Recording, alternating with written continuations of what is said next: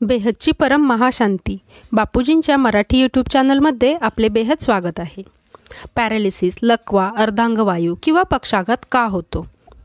आत्तापर्यंत आपण त्याची बरीच कारणे पाहिली असतील. शरीराच्या ठराविक भागापर्यंत मेंदूचे सिग्नल पोहोचत नसतील किंवा मेंदूपर्यंत रक्तप्रवाह पोहोचत नसेल तर पक्षाघात होतो. पण आत्तापर्यंत कोणीही त्याचे आध्यात्मिक कारण सांगितलेले नसेल. बेहदच्या बापूजींनी आपल्याला याचे आध्यात्मिक कारण सांगितलेले आहे. तर पॅरालिसिस का होतो याचे आध्यात्मिक कारण आपण पाहूया. बेहच्चे बापूजी आपल्याला अर्धांगवायू म्हणजे पॅरालिसिस कसा होतो कशामुळे होतो हे सांगत आहेत. सूक्ष्म शरीर कारण शरीरामध्ये त्याचे रेकॉर्ड असतात का? त्यामुळे होतो का?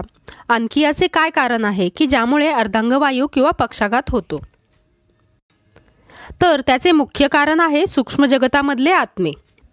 सूक्ष्म जगतामधले आत्मे कुठे ना कुठे कर्मबंधनामध्ये आल्यामुळे निगेटिव्ह होतात नकारात्मक होतात आणि त्यामुळे कुठे ना कुठे ते मनुष्याशी जोडले जातात. साकारी मनुष्यांचा ते बदला घेण्याची इच्छा ठेवतात. साकारी मनुष्यांना ते आत्मे दुःख दंड देऊ इच्छितात आणि त्यांच्या सूक्ष्म शरीराला डिस्चार्ज करून म्हणजे शक्तिहीन करून त्यांच्यातील पॉवर काढून घेतात. म्हणजेच येथे सूक्ष्म शरीर ॲक्टिव्ह राहत नाही म्हणजे सूक्ष्म शरीर निष्क्रिय होते. सूक्ष्म शरीराची शक्ती संपूर्ण नाहीशी होते तेव्हा अर्धांगवायू किंवा पक्षाघात होतो. म्हणूनच पक्षाघात किंवा अर्धांगवायू पॅरालिसिस ही काही साधी गोष्ट नाही जी अचानक होते अचानक जलद गतीने होते. कारण सूक्ष्म जगतामधले निगेटिव्ह नकारात्मक आत्मे त्यांच्या शरीरावर प्रकाश किरणे किंवा प्रकाशाचा झोट टाकतात असे अनेक आत्मे बसलेले आहेत परंतु हे सगळे पूर्वजन्मांचे कर्मबंधन असल्याशिवाय होऊ शकत नाही. असेच कोणतेही सूक्ष्म जगतामधले आत्मे साकारी मनुष्याला किंवा कोणालाही प्रकाश किरणे टाकू शकत नाहीत. जर कोणी प्रकाश किरण टाकायची इच्छा ठेवत असेल किंवा कुणाचे सूक्ष्म शरीर डिफेक्टिव्ह करण्याची इच्छा ठेवत असेल तर तेव्हा त्या आत्म्याला वाचवण्यासाठी किंवा रक्षण करण्यासाठी दुसरा कोणता तरी आत्मा येईल असे होऊ शकत नाही. मागील कर्मबंधन असल्याशिवाय असे होत नाही. त्यामुळे ही गोष्ट अतिशय गंभीर आहे. या गोष्टीला किंवा या रोगाला नाहीसे करणे हे खूप गंभीर बाब आहे. हळूहळू सूक्ष्म शरीरामध्ये शक्ती येते. सूक्ष्म शरीरामध्ये जेव्हा शक्ती येते तेव्हा स्थूल शरीरामध्ये शक्ती येते. कारण अर्धांगवायू किंवा पक्षाघात या रोगाचे कारण शरीरामध्ये रेकॉर्ड नसते किंवा मिळत नाही किंवा त्याचे कारणही सापडत नाही. कुठलेही बाळ अपंग जन्माला येते तर का येते याचे कारण आपण समजून घ्या. त्याच्या आजूबाजूला जेव्हा त्याची आई गर्भवती बनते तेव्हा आत्मा प्रवेश करत असतो. तेव्हा त्याच्या आजूबाजूला जन्म घेण्यासाठी अनेक आत्मे जन्म घेण्याची वाट पाहत असतात. पण ते प्रवेश करू शकत नाहीत. तिथेही स्पर्धा असते. तेव्हा एका आत्म्याने गर्भात प्रवेश केल्यानंतर बाकीचे आत्मे बाहेरच राहतात. ते आत्मे गर्भात प्रवेश केलेल्या आत्म्याबरोबर बदला घेऊ इच्छितात. रेज किंवा किरणे प्रकाश किरणे मारून त्याचे सूक्ष्म शरीर डॅमेज म्हणजे शक्तिहीन करून बाळाचे नुकसान करू शकतात. ही तर एक्सरेसारखीच गोष्ट आहे. रेज किंवा प्रकाश किरणे मारून सूक्ष्म शरीराला नुकसान करणे. परंतु जर आई सक्षम योग करणारी असेल किंवा कोणाची भक्त असेल योगामध्ये राहत असेल किंवा परमप्रकाशाचे वलय म्हणजे ऑरा बनवत असेल तर परमतत्वे असतील. तर या सगळ्यांचे प्रकाश किरण किंवा रेज काम करू शकत नाही किंवा नुकसान करू शकत नाही.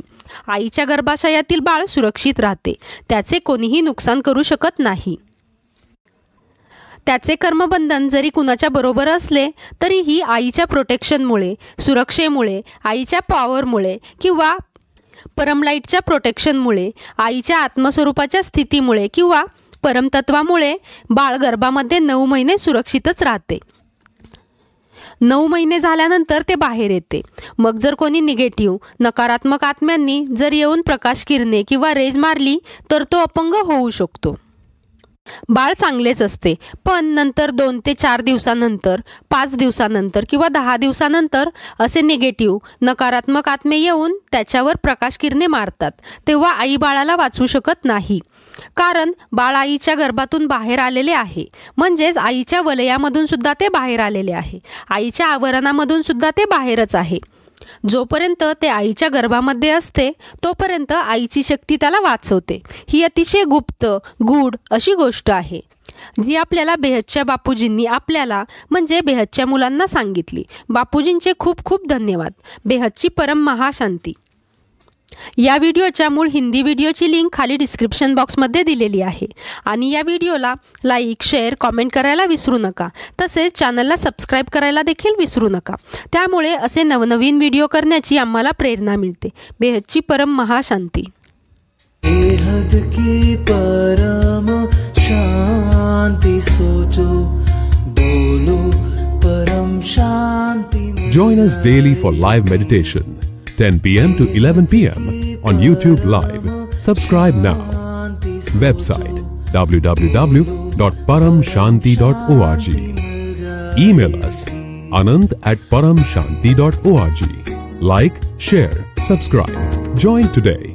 बेहद की परम शांति सोचो